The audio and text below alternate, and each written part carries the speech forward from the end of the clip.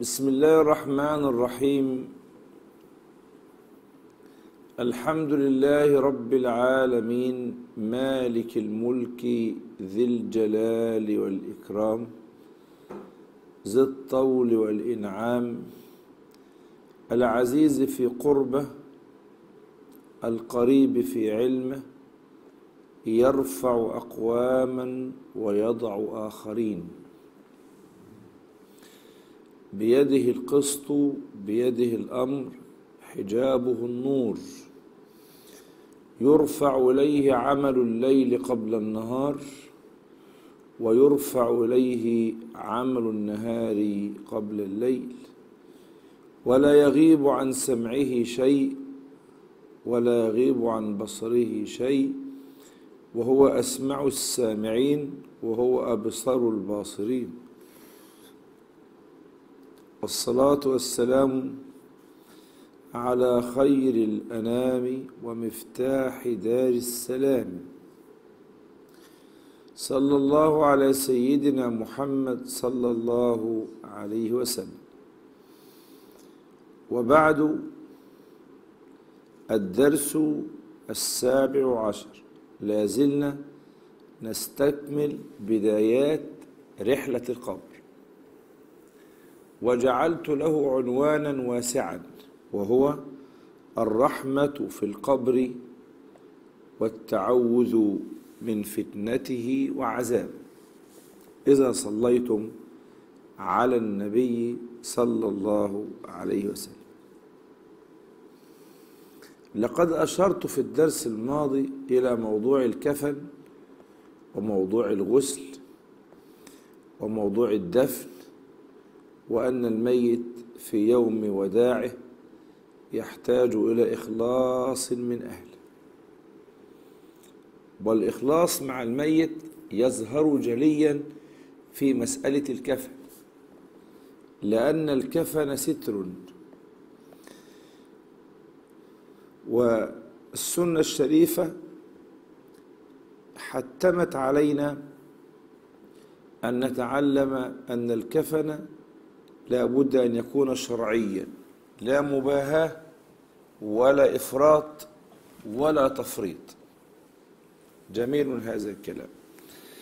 حسنوا أكفان موتاكم فإنهم يتباهون ويتزاورون في قبورهم. ممتاز. يعني السنة وإن كان الحديث ضعيفا وإن كان الحديث ضعيفا لكن السنة بتحبب إلينا دائما أن نحسن في تكفين الموتى والإحسان في الكفن واجب شرعي. وفي الصحيح عند مسلم عن جابر بن عبد الله رضي الله عنه عن رسول الله صلى الله عليه وسلم قال إذا كفن أحدكم أخاه فليحسن كفنه. فليحسن كفنه. الإحسان في الكفن واجب شرعي ليس فقط لأن الموت يتزاورون ولكن لأن الستر على الميت واجب. وقد ذكر كثير من أهل العلم هذه القصة. المهم وهي أن امرأة من الأنصار ماتت. وكانوا فقراء. فقصروا في تكفينها. فلم يكن الكفن ساترا جسمها رحمها الله تعالى. جميل؟ جميل. ووضعوها هكذا وظهرت معذرة وظهرت رجلاها وظهر جزء من ساقيها رحمها الله. ودفنت على هذه الحالة. وكان زوجها طبعا يعيش في عهد سيدنا صلوات ربي وسلامه عليه وكلهم صحابة عدول. فلما نام في نفس الليلة التي دفنت فيها زوجته رحمها الله تعالى شاهد النساء في الجنة في حالة فرح وسرور ولم يجد بينهن زوجته ولم يجد بينهن زوجته. فنادى على واحدة منهن وسألها أين زوجتي فلانة التي توفيت اليوم؟ فقالت فقالت له لقد قصرتم في تكفينها. وهي الآن لا تحب أن تخرج بين النساء لأن كفنها لم يكن ساترا. ثم يقول باقي الرواية هي رواية بنستدل منها على وجوب الإحسان في الكفن بنستدل منها على أن الحياة البرزخية حياة موصولة بنستدل منها على وجوب اتباع شرع الله. فذهب الرجل إلى سيدنا رسول الله صلى الله عليه وسلم وحكى له القصة. فقال النبي صلى الله عليه وسلم هل من مبلغ هل هل في حد بيموت؟ فقالوا نعم يا رسول الله. فقال هنا فقالوا هناك شاب من الأنصار يحتضر. يحتضر. فقال صلى الله عليه وسلم إذا ما غسلتموه وكفنتموه فضعوا لها كفنا مع كفنه. وفعلوا. الله أكبر. وبعد ذلك شاهدها زوجها مع النساء ترتع وتسعد وتفرح بالجنة. فإن الكفن الذي أرسل إليها بعد وفاتها مع الشاب الصحابي رضي الله تعالى عنه قد وصلها وهي تنعم به وستر الكفن عليها ما كان قد ظهر من بدنه. هذه القصة ذكرها كثير من أهل العلم أكانت صحيحة أو دون ذلك لكن فيها مجموعة من المعاني المهمة التي تلزم الأحياء باتباع السنة والتي نفهم منها أن حياة البرزخ ليست مغلقة ولا طلاسم وإنما هي مفتوحة كما سيأتي الكلام التفصيلي إن شاء الله تعالى. إذا صليتم على خير الأنام صلى الله عليه وسلم. القبر له لسان. آه له لسان. بيتكلم ده لازم يتكلم. بيتكلم عربي يتكلم عربي وفارسي وإنجليزي وكل حاجة. وبيستقبل الإنسان برضه استقبال استقبالا يليق بعمله. في حوار بينك وبينه آه. في كلام فيه معاني فيه ومن ومن هذا سلمكم الله تعالى أن القبر يقول للميت إذا وضع فيه ويحك يا ابن آدم ما غرك بي؟ ألم تعلم أني بيت الفتنة وبيت الظلمة وبيت الدود؟ ما غرك بي إذ كنت تمر بي فدادا يعني سريعا سريعا؟ فإن كان صالحا أجاب عنه مجيب القبر. فيقول أرأيت إن كان ممن يأمر بالمعروف وينهى عن المنكر. الله أكبر. فيقول القبر فإني أعود عليه خضرا ويعود جسمه نورا وتصعد روحه إلى رب العالمين. يا سلام. يعني القبر بيسأله أنت كان حالك إيه؟ أنت كان وضعك إيه؟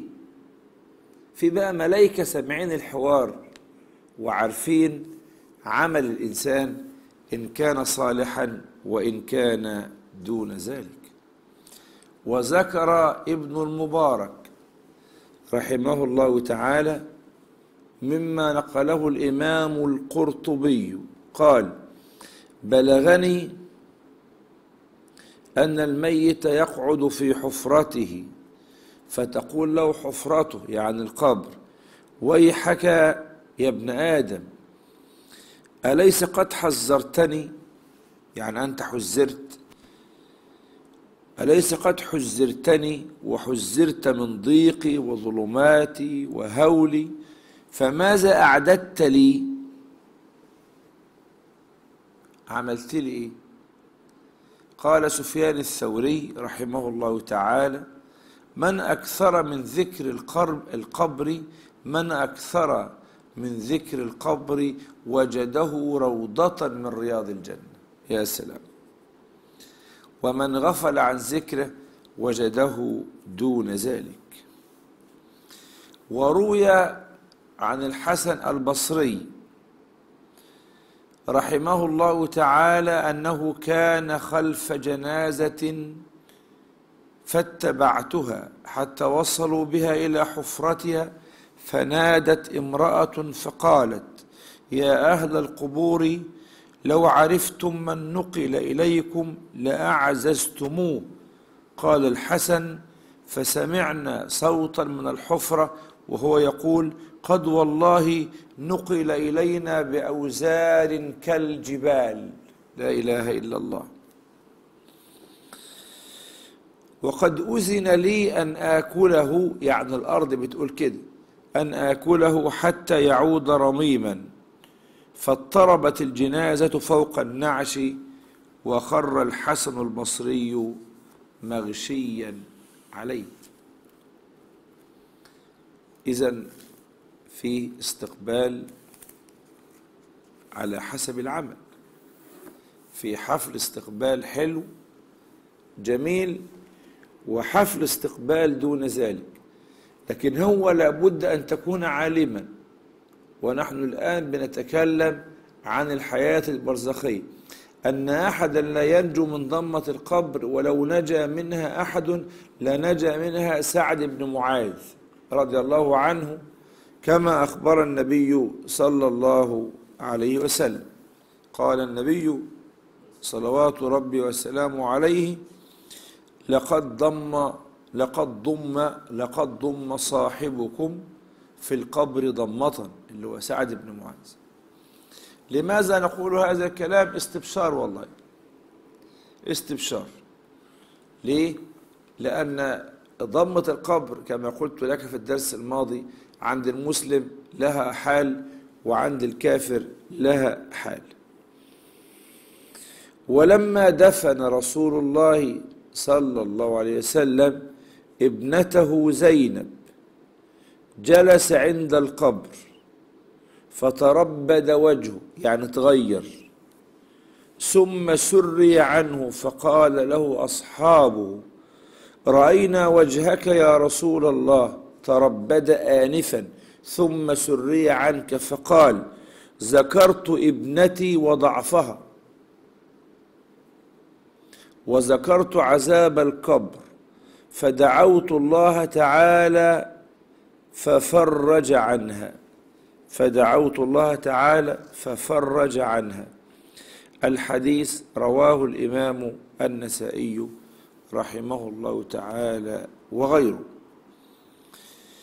مشاهدي الكرام الأكارم دعوني أبشر وأقول لما مات عبد الله بن عباس رضي الله تعالى عنهما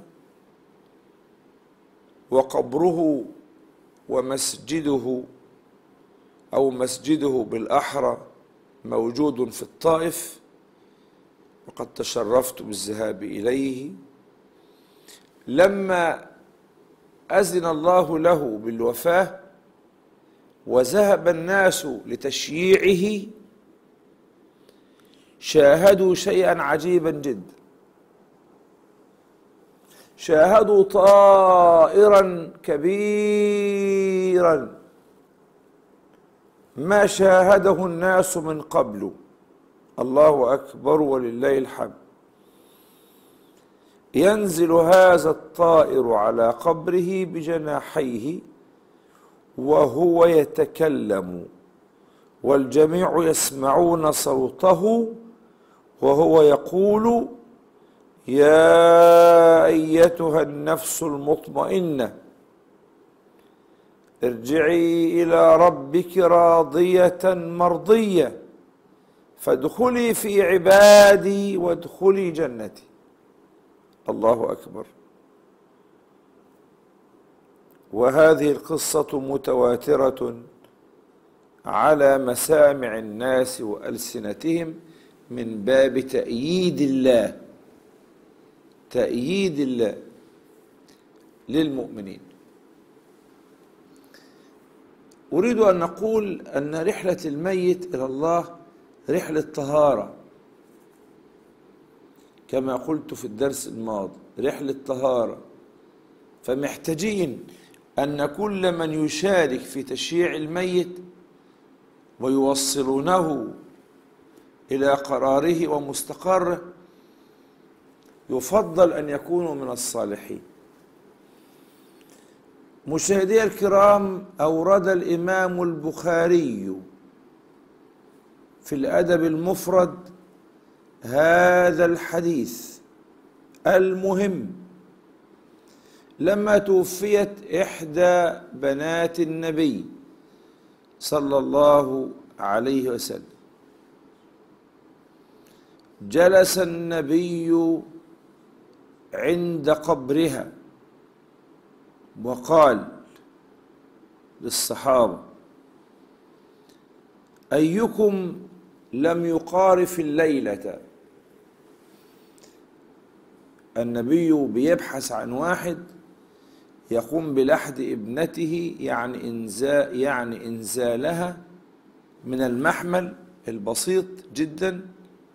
إلى لحدها أو إلى قبرها صليتم على حضرة النبي. النبي بيسأل عن واحد يقوم بعملية اللحد. فمش أي واحد. مش أي واحد. فقال أيكم لم يقارف الليلة؟ من فيكم لم يقارف الليلة؟ طب ما معنى هذا الحديث؟ يقارف بمعنى يجامع. يقارف بمعنى يجامع. وهل الجماع حرام. ابدا ده عباده الجماع عباده وقضاء الوطر عباده عبادة عبادة يعني عبادة أصير. طب لماذا قال النبي أيكم لم يقارف الليلة؟ يعني عايزين واحد يقوم بلحد ابنته لم يجامع زوجته في هذه الليلة. قلت لك الحديث في البخاري. إيه العلة يعني؟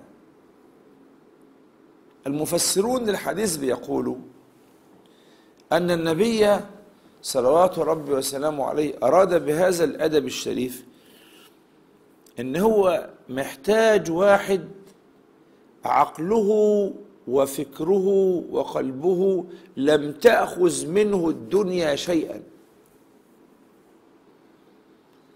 لم تأخذ منه الدنيا شيئا ولم ينل شيئا من حظوظ المتعة في هذه الليلة يبقى في حالة من الوضاء الكاملة والطهارة الكاملة والاستعداد الكامل والبدن ليس مرهقا والنفسية غير قلقة. سلمكم الله تعالى وأحبكم والوجه مستنير والقلب مستنير. فقام رجل وقال أنا يا رسول الله. فأذن له النبي بلحدها. صلى الله عليه وسلم. ماذا نتعلم؟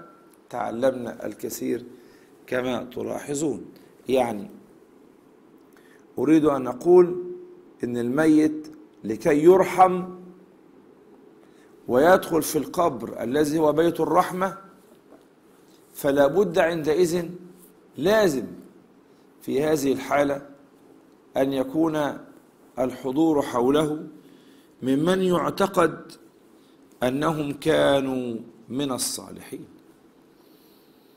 مشاهدي الكرام هل فعلا الميت يعذب بعمل غيره؟ لو واحد أخطأ في الجنازة أو سب الظهر أو لطم الخد أو كذا أو كذا هل هذا كله يؤاخذ عليه الميت؟ ننظر. فيما ورد من أحاديث في هذه المسألة. الحديث الذي معنا بنتعلم منه شيئا في غاية الأهمية وهو مما علمنا إياه النبي صلى الله عليه وسلم. إن الميت ليعذب بصياح أهله عليه. إن الميت ليعذب بصياح أهله عليه. الحديث أورده النسائي والإمام أحمد بن حنبل في مسند. جميل. حديث آخر ورد في الترمذي أيضا عن أبي موسى الأشعري عن النبي صلى الله عليه وسلم قال الميت يعذب ببكاء الحي عليه. ثم ذكر باقي الحديث. وذكر الإمام البخاري من حديث النعمان بن بشير حديثا آخر في السياق نفسه إذا صليتم على حضرة النبي صلى الله عليه وسلم. انظروا إلى قوله انظروا إلى قوله في الحديثين. الحديث الأول الميت يعذب ببكاء الحي عليه. البكاء هنا لا يقصد به البكاء العادي البكاء الفطري لا. وإنما يقصد به المبالغة في البكاء والتزيد في البكاء والنياح والدعاوى بدعوى الجاهلية وانظروا إلى قوله معشر السادة الكرام إن الله ليعذب الميت بصياح أهله صياح بصياح أهله عليه. وليس معنى العذاب أي اشتداد العذاب عليك في قبرك لأن أهلك يبكون عليك. ولكن فعلا الميت بيتألم ألم شديد لأن الميت يا أحبابي دخل في مرحلة سكينة دخل في مرحلة وقار دخل في مرحلة أنس بالله ولا يحتاج إلى ما يعكر عليه صفوة. الميت بيتألم بيتألم صحيح بيتألم. يبقى كلمة العذاب هنا سلمكم الله تعالى معناها أن الميت بيتألم ألما نفسيا ولا يعذب عذابا حسيا. ولأجل هذا النصيحة واجبة لمن لا يكفون عن البكاء. لا بد أن يؤمنوا بالقضاء والقدر. كل لن يصيبنا إلا ما كتب الله لنا. يبقى إذن هناك أشياء مهمة ينبغي أن نعلمها في هذا. ما الذي ينجي المسلم من ضمة القبر وضغطته؟ ورد حديث في هذا السياق سلمكم الله تعالى وأحبكم إن الإنسان إذا داوم على قراءة سورة الإخلاص وبعض وكان من أهل القرآن الكريم مما ذكره الإمام القرطبي رحمه الله تعالى وأورد حديثا ثم قال عنه إنه فيه ضعف ولكن لا حرج من قراءته من قرأ قل هو الله أحد في مرضه الذي يموت فيه لم يفتن في قبره وأمن من ضمة القبر وحملته الملائكة بأكفها حتى تجيزه من الصراط إلى الجنة. يعني إذا هناك أعمال اكتب هذا في قلبك. هناك أعمال تنجي الإنسان من ضمة القبر نعم. وفي هذا تفاصيل كثيرة نسعد بها غدا إن شاء الله تعالى إن طال بنا الزمان. اللهم تب علينا يا تواب يا رحيم. اللهم اغفر لنا ذنوبنا وإسرافنا في أمرنا وثبت أقدامنا وانصرنا على القوم الكافرين. اللهم ارحمنا برحمتك الواسعة. اللهم ارض عنا يا الله. اللهم تب علينا يا الله. اللهم اغفر لنا يا الله. يا أرحم الراحمين يا الله. إن الله وملائكته يصلون على النبي. يا أيها الذين آمنوا صلوا عليه. صلوا عليه وسلموا تسليما. والسلام عليكم ورحمة الله تعالى وبركاته.